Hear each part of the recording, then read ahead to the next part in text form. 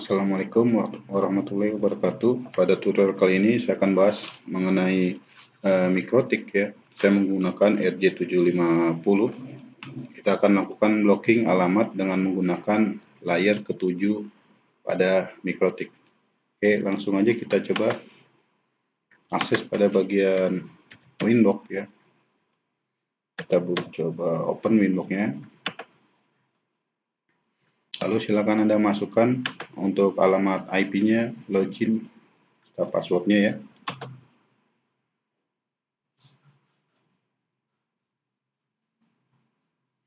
Oke, setelah itu kita langsung aja masuk ke bagian IP. Lalu IP address di sini ada, ya sorry IP uh, firewall ya, ulangi IP firewall. Nah, setelah itu di sini kita akan lihat untuk uh, layar ke-7 ya, layar ke-7 saya coba atur dulu. Oke, layar ke-7 di sini. Oke, jadi begitu di firewall masuk ke layar ke-7. Nah, layar ke-7 Anda bisa nulis rumusnya seperti ini ya. Pada layar ke-7 silakan ditulis. Ini untuk rumus layar ke-7 blocking alamat beberapa oh, alamat web sekaligus. Ya, ini saya coba perjelas di notepad tampilannya seperti ini. Oke, nah, rumus ini silakan Anda tulis di layar ketujuh. Misalnya ingin menambahkan tinggal tanda tanda ini aja di atas enter ada tanda tegak seperti. Lalu alamat URL-nya apa yang ingin Anda blok seperti itu ya. Oke, setelah ini Anda tulis di layar ketujuh lalu silakan Anda kasih nama. Setelah Anda kasih nama lalu Anda oke. Okay. Nah, setelah itu kita bisa klik pada bagian filter rule ya untuk menambahkannya di filter lalu kita add Gitu. Kalau di filter rule ternyata sudah ada filter-filter yang lain, Anda juga bisa mendisable filter rule-nya. Ya, oke, okay. mendisable yang khususnya yang formatnya itu adalah sini ada yang format chain-nya ini adalah forward kalau sudah ada boleh Anda delete terlebih dahulu ya.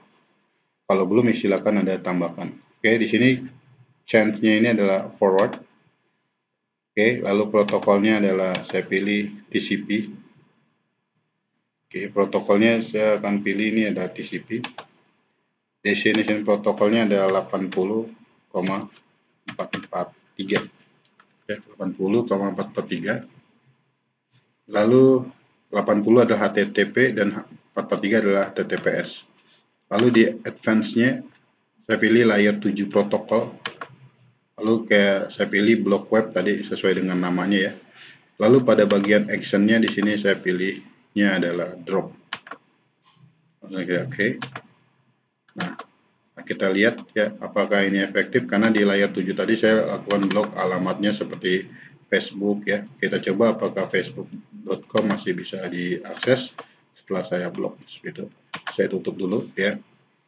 Oke, saya coba lagi Facebook.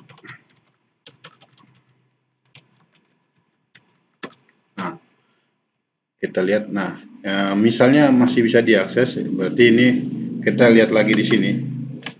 Kita lihat lagi di sini di bagian filter. Ini sudah bergerak atau belum ya? Kalau ini sudah bergerak bed dan packetnya berarti itu hanyalah history. Anda bisa lakukan clear history terlebih dahulu ya di browser Anda. Ini ini kita kita clear history terlebih dahulu. Karena bisa aja ini adalah story yang lama dan tentunya masih sudah ter cache-nya sudah tersimpan ya seperti itu. Silakan Anda clear terlebih dahulu. Nah, oke. Okay. Setelah Anda clear, silakan Anda coba lagi karena seharusnya sudah uh, sudah bisa ya. Karena di sini kalau kita lihat uh, paketnya ini sudah jalan antara bed dan paketnya ini sudah jalan berarti sudah efektif ya melakukan blok alamat web. Ya, oke, nah seperti itu. Oke, nah, oke, okay. nah, saya coba buka lagi. Seperti itu ya, kita lihat. Kita coba lagi.